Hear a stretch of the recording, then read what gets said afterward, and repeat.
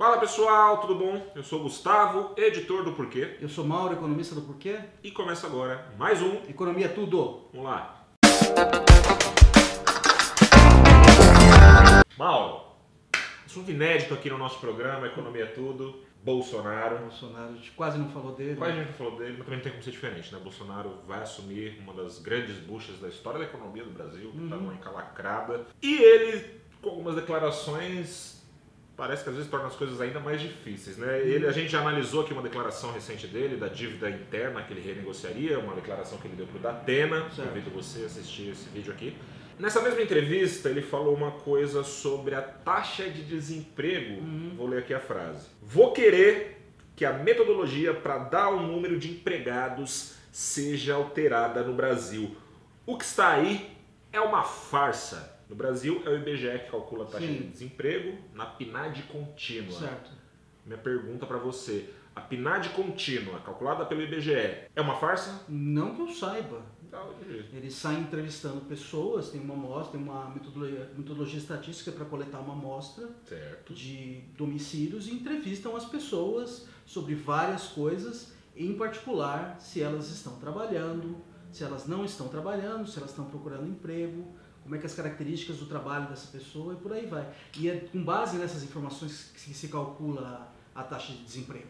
E é, e é uma metodologia muito parecida com a metodologia praticada em outros países. Que é algo que se procura para que É. tenha uma base de comparação entre É, os países. Né? É lógico, que, é lógico que tem problemas, a gente já vai discutir no vídeo, tem problemas, eu acho que o Bolsonaro tem um ponto nisso, apontar que tem problemas, mas não parece ser o caso que seja uma farsa. Não é uma mentira Não, a não, é taxa uma de mentira, desemprego é- que é divulgada pela PNAD. É, Continuando então na frase do Bolsonaro e nesses pontos que você falou, ele fala, ele continua falando o seguinte: quem recebe o Bolsa Família é tido como empregado. Quem não procura emprego há mais de um ano é tido como empregado. Quem recebe seguro-desemprego é tido como empregado. Nós temos que ter uma taxa não de desempregados, mas de empregados.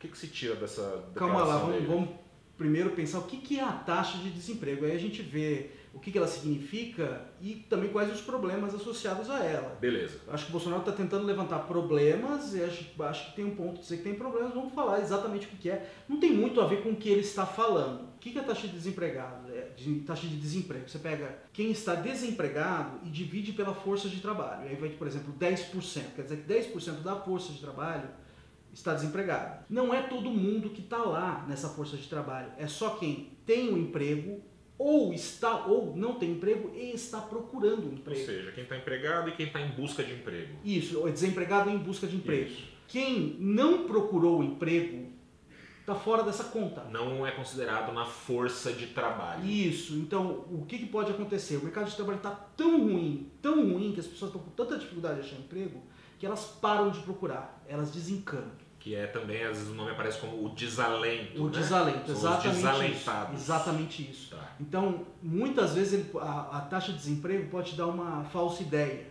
Que é aquele Ah, camarada que já ela- está. Ela é uma informação relevante, isso Tá. sem dúvida, mas às, às vezes ela esconde as condições do mercado de trabalho. Uhum. Como esse cara saiu da força de trabalho, o denominador de calcular a taxa de desemprego ele também diminui. Seria talvez esse cara que ele fala, ah, pra- por mais de um ano o cara parou de procurar, já sai Isso, da taxa. é. Seria talvez por aí o que ele está querendo É dizer. isso. E aí você vai, pode ter às vezes o contrário acontecendo, né? Às vezes as condições do mercado de trabalho melhoram, tem gente que não estava nem. E o desemprego aumenta. Aí o desemprego pode aumentar inicialmente antes de Porque cair. a, a base aumentou Isso, com a força de isso. trabalho. Então acho que, uma- um- acho que o que dá para tirar daí dessa discussão que o Bolsonaro está trazendo é o seguinte: precisa ter mais informação. E não é que não existe mais informação. O IBGE calcula medidas alternativas, então tem, por exemplo, tem essa taxa de subutilização da força de trabalho, Certo. que leva-se em conta não só gente que está procurando emprego e não está achando emprego, mas também gente que está tá trabalhando poucas horas, Tá. esse pessoal entra na conta da subutilização. Gente que está desalentada, então, por exemplo, pessoas que eles perguntam para a pessoa: Você procurou emprego? Eu falo: Não. Mas se você tivesse a chance, você trabalharia? A pessoa fala: Sim. Essa pessoa Até ela, é gostaria de trabalhar, ela começa a entrar na conta, da, na conta dessa taxa de subutilização. Então, é, tem uns artigos recentes do, do, do IBGE mostrando que essa taxa de subutilização está crescendo, apesar da taxa de desemprego estar estável até caindo, Certo. essa taxa de subutilização está tá crescendo, e muito em função do desalento.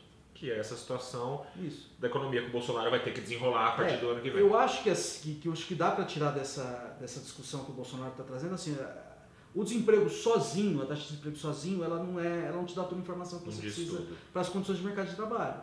Mas daí a dizer que a taxa de desemprego é mentirosa, Não, daí não, não, não é, não, não- não é o caso. não é por aí. Mas assim, não é dizer que essa informação está escondida. O IBGE divulga essa informação. Talvez seja o caso de dessas, dar mais ênfase, Exato. de nós também, economistas, e nós também que trabalhamos com, com, com- com imprensa, esse tipo de coisa, a gente também dá mais ênfase a esse tipo de. E mesmo de talvez variáveis. a própria comunicação oficial do governo dá ênfase, como sempre, e tem que continuar dando para É. a taxa de desemprego, que é uma taxa que é comparada no mundo todo entre os países, mas talvez divulgar mais esses outros números também. né? Também, para a gente ter uma ideia mais ampla do, de como que funciona o mercado de trabalho. Da realidade. É. é. Acho que só um ponto que a gente levantou recentemente em texto aqui no Porquê, é, tem um, um perigo essa, essa declaração do Bolsonaro, que é colocar em xeque a reputação de órgãos oficiais que fazem Sim. controle de estatística, né? A gente perde o norte do que está certo. É, não se tá? a gente olhar Venezuela, o que aconteceu na Argentina, esses, esses, esses órgãos foram todos cooptados pelo governo, Uhum.